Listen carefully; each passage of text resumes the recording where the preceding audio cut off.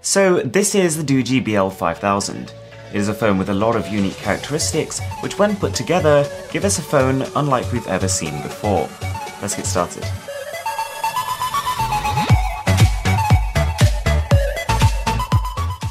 Couple of years ago, no one would have even batted an eyelid at Doogee, but recently they've started doing some very interesting things. With the Doogee Mix, they created a near bezel-less smartphone at a budget level price point, and it was a very successful product. So that makes me particularly excited for this one. So this is the final retail box. It's got a glossy picture of the phone, glossy logo, and the rest of it is more or less matte. It's a nice contrast, but all in all, this box does not feel quite as premium as the one we saw on the Mix. Another thing worth noting is on the side of the box they've actually etched in two cameras, and that symbolises the dual cameras on the smartphone.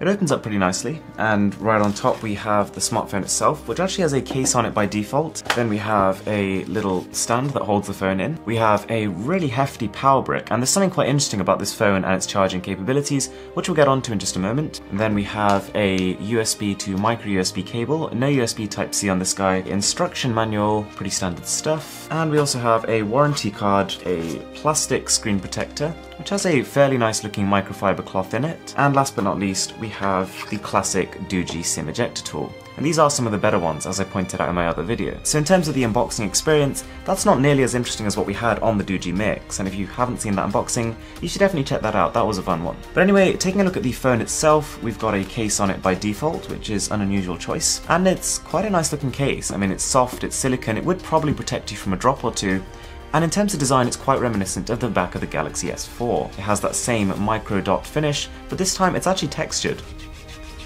It's quite nice. Right, so the smartphone itself. So I've got the blue version here, and there's something very interesting about the rear of this smartphone. So the company, for the first time ever, has created 15 different layers to refract the light in different ways.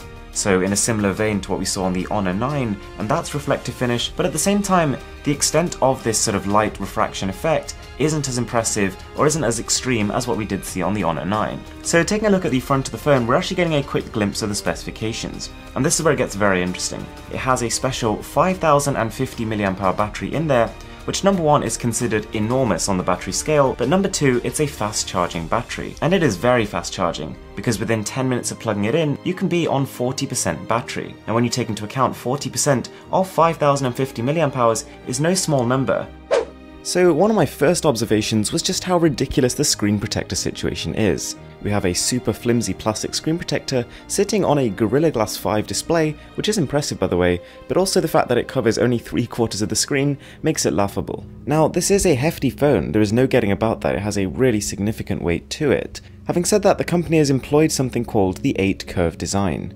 So as well as the rear four corners being slightly curved to make it a bit more comfortable to hold, the same is true for the front corners, which effectively means the front of the phone is a very flat dome. Ironically, even with this 8 curve design, it still juts into the hand in a way which isn't exactly comfortable. When I spent a bit of time moving from different lighting conditions trying to see the effect on the rear of the smartphone, my initial impressions of this hold. It is a cool finish, the effect is present, but it's just not that significant. There's nothing wrong with the fingerprint scanner itself, it's actually quite fast, but the fact that it's placed so far away from the standby button means that when you're turning the phone on, you're often shuffling around it a lot. So the display here really is quite interesting.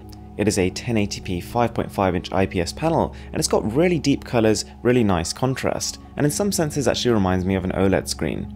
The only place it falls down here is viewing angles, but it really makes up for that with this crazy level of brightness. Considering it's a budget phone, the 650 nit brightness here is higher even than that on the iPhone 7. So the BL5000 has another cool feature up its sleeve, a front-facing flash. And whilst in theory I love the idea of it, the implementation here is a little bit hit and miss.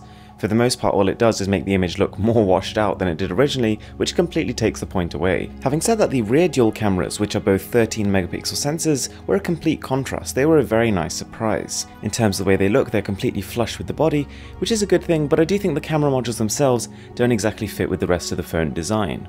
However, to my surprise, the lossless zoom works more or less perfectly. It really does zoom in two times, losing maybe 10% of the detail if that. It's also got a very good shutter time, which means that in good lighting you pretty much do not need to worry about blur on the photos. And detail is there too. These are two 13 megapixel sensors, so you're capturing a lot of information about the scene around you. Colours are vibrant as well, and even in lower lighting conditions as we start to turn the lights off, a lot of the detail is preserved. You have to be more careful about blurring the photos, but at the same time, the fact that it can even do this is impressive. The battery is everything we hoped it would be. Whether it's on standby or whether it's in use, it has an outstanding level of battery life.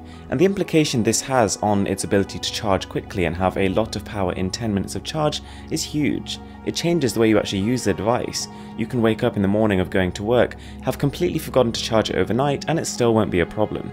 So then we've got the performance, and it's a pretty middling phone in terms of this. Scoring 43,000 on Antutu, this phone packs 4GB of RAM and the MT6750T. Whilst the RAM itself is pretty plentiful, you never really feel a lack of it when you're using the operating system, the CPU itself could be a bit better.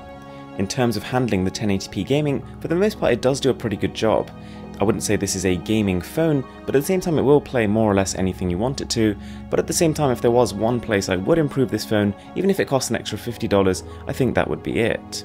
The phone is based off Android 7.0 with Doogee's own rather garish looking skin, which you can get rid of for the most part. The software also has quite a strong emphasis on using gestures to navigate your phone quicker, and whilst they're a little bit hit and miss in terms of their effectiveness, it's nice to have the options. One thing I did notice which was a bit of a shame is that the Wi-Fi antenna or the end Wi-Fi signal reaching this phone is just not that great. In rooms where other smartphones at the same price were getting signal fine, this one struggled just a little bit. Anyway guys, that is the Doogee BL5000. It is a very interesting phone. It's got a lot of unique features about it which phones at this price haven't even dreamt of having included. Combine that with a good display and then an absolutely killer battery and you do have an impressive phone on your hands. So with that being said guys, I really hope you enjoyed the video. I'm Mr. Who's the Boss, and I'm signing out.